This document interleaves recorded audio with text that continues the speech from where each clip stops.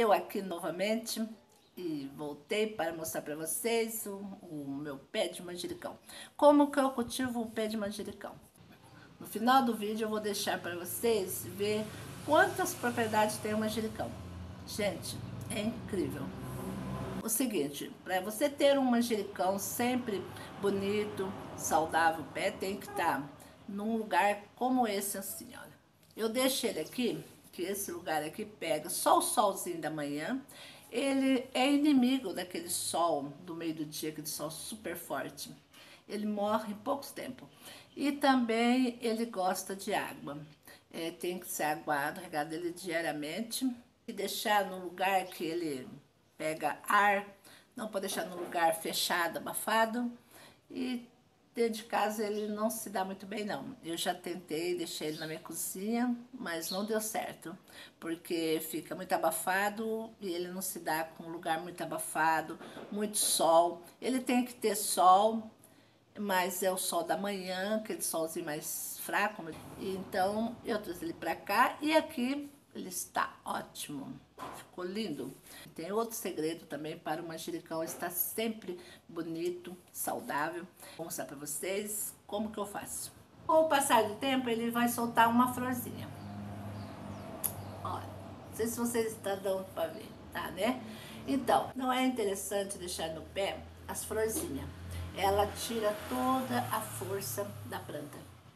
Uma tesourinha e corta na última folhinha que soltou. Deixa eu mostrar pra vocês pertinho. Tá vendo? Assim, ó. Daí vocês cortam a folhinha, essa florzinha. Sempre cortando na última folhinha, ó.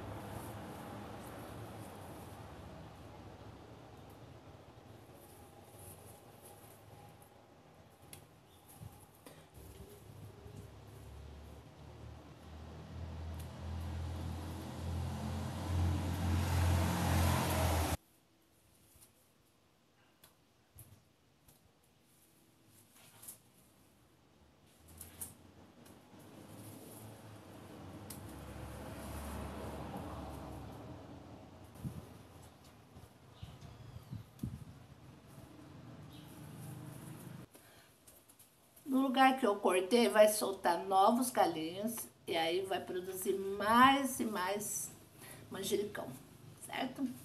Então, seu vaso vai ficar totalmente cheio, vai ficar enorme, vai ficar lindo, maravilhoso. Então, aqui já terminei de cortar os galinhos com as florzinhas? Ficou excelente.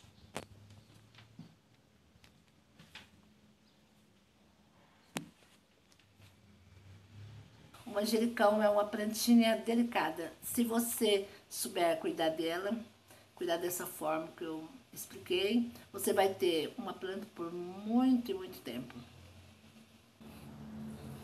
Hum, que perfume que ela tem. obrigado pela companhia, obrigado pela atenção de vocês. E a gente se vê no próximo vídeo com novas novidades.